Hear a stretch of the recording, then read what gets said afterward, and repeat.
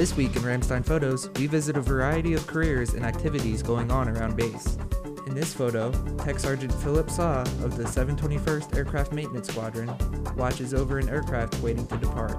He aids in the prevention of accidents by supplying visual information to pilots taxiing on the flight line. Here, David Bidwell III performs a martial arts demonstration during the 13th annual U.S. Air Forces in Europe and Air Forces Africa Martial Arts Tournament.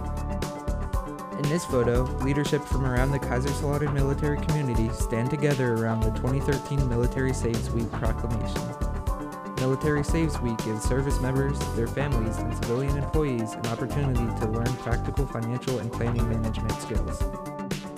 Here, we see students of Marianne Warwick's first grade class listen as she reads The Cat in the Hat as part of Read Across America Week. Entering its 16th year, Read Across America is a national event, also held at overseas military installations to educate children of all ages about the importance of reading.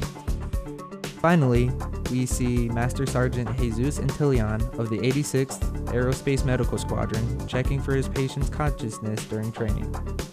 The training was held to ensure airmen are ready to complete the mission. That's all for this week in photos. Tune in next week for more.